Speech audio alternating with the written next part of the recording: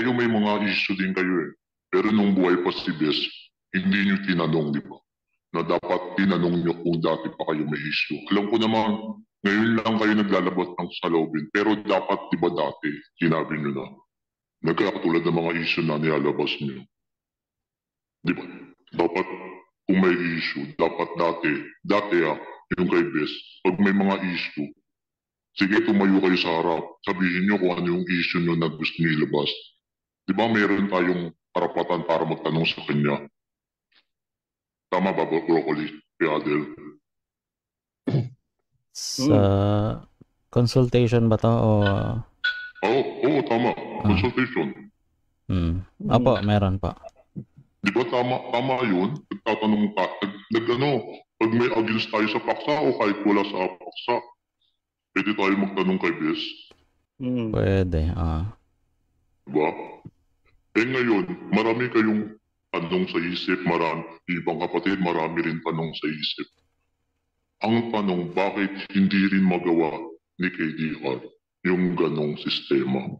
Ngayon, kung bakit hindi hindi ah, lumabas na yung karamihan sa amin noon, eh, yun, tama sa sinabi ng mga kasama na there is no, hindi mo siya pwedeng questionin kasi meron siyang tayan na binigyan niya nga yung, immu- yung sarili niya ng immunity to accountability.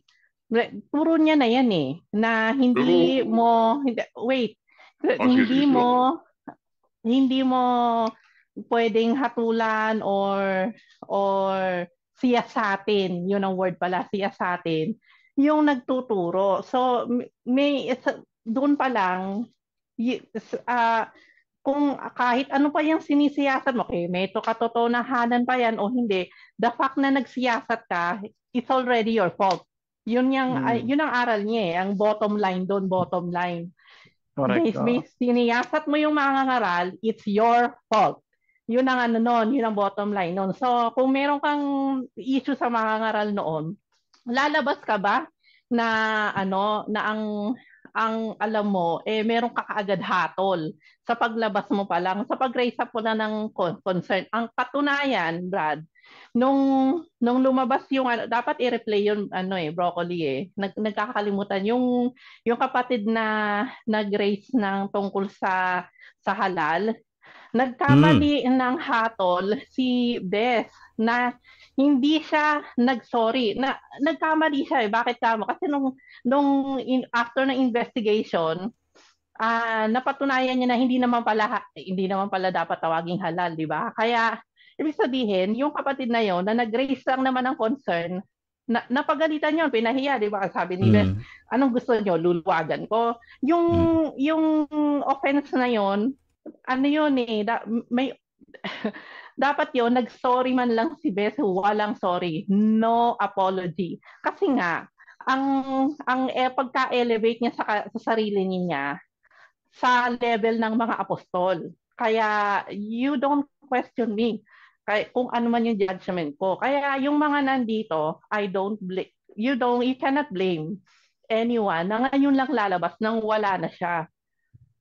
Oh, kasi ah, ganun talaga hindi dahil naduduwag yung mga nandito. Pero ayaw nila ng ano eh ng unnecessary mental burden.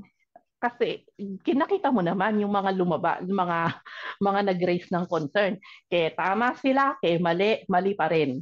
Doon ang bottom line noon, Brad. Kaya kasi ano to eh, persistent question, na naglingering question na kung bakit ngayon lang tayo lumalabas.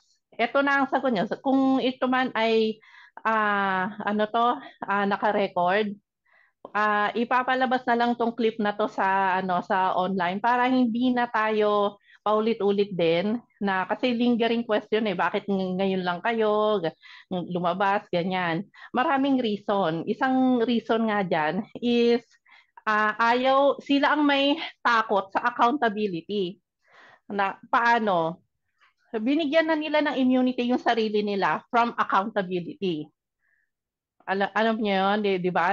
Obvious naman yun eh, na huwag niyo sisiya sa atin. So, the fact na nag, nag, nagsiyasat ka, you're already at fault, you're, account, you're, the one accountable, parang ganun. So, you, you cannot blame na ngayon lang sila lumalabas na na yung iba ngayon lang din nakakapag-isip. Yun lang po.